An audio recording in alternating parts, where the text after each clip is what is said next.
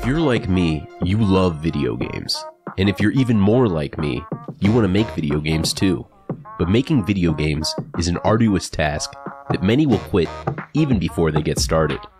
While the amount of stuff that goes into making games hasn't changed, our ability to code them has gotten a major upgrade over the past few months. ChatGPT, a conversational AI, has been making the rounds and breaking headlines for its ability to draft emails, type articles, give logical advice, and write game code. This is something I've been wanting to use as much as I can when making games in Unity and Roblox.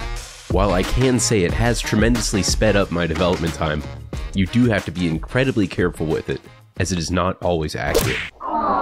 In this video, I'm going to show you how I use ChatGPT to help me code a game in Roblox.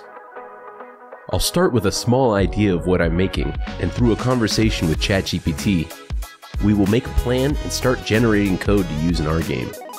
So, to get started, let's tell the AI that we want to make a simulator game in Roblox. ChatGPT responded with a step-by-step plan that will help us plan out and create our game.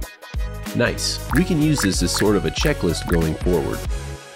While ChatGPT was generating the answer, I came up with the idea that our simulator game would be about the player using an AI in their house to passively make money. ChatGPT seemed to enjoy this concept and started to give me ideas on game mechanics and things I can add to make my game more engaging. After a small back and forth talking about what kinds of mechanics I would add and how they would work, I asked ChatGPT to create a script that would handle the player's data and their progress in the game. It quite confidently came up with a script that didn't work, but looked promising. I'd come back and edit that later. Next, I figured that in simulator games, the player has their own plot. So I needed to make a system to spawn a house on a plot for each player, which ChatGPT was able to code for me. Being a developer, I was able to see some of the errors with the script before I ever added it to my game. So I asked ChatGPT to edit its code to fix some of the errors. While it was still not 100% accurate, it got the script much closer to what I needed and with some small adjustments, I was able to make the plot spawn in for each player. Now I wanted to animate the spawning in of the parts for the house. ChatGPT excelled at creating this code, using the tween service and creating a loop to loop through all of the parts in the house, animating each one in individually. This was pretty cool, but how would the player know which house was theirs? Teleport them to it, of course.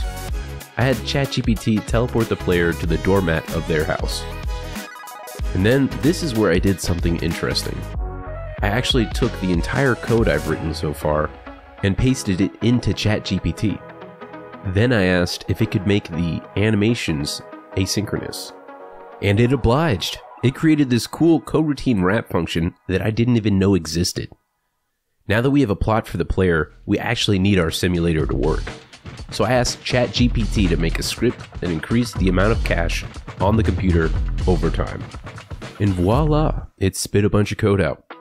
But it was still pretty trash. But it got us most of the way, so that counts for something. And since AI can't build just yet, I built a computer, a button, and made sure the scripts reference these parts correctly. And to finish off our mechanics, I added similar logic for upgrading the amount you earn and the speed it collects on the computer. And boom, there you have it. I created a simulator game in Roblox using ChatGPT to write around 95% of the code. ChatGPT is an insanely useful tool, but often it makes mistakes. This makes it not as useful for novice developers, as they might not be able to spot the errors in the code. But ChatGPT does comment all of its code and uses simple naming conventions that make it easier to spot these errors. While I don't think AI will be replacing game developers soon, I highly recommend everybody check it out and see what it can help you do.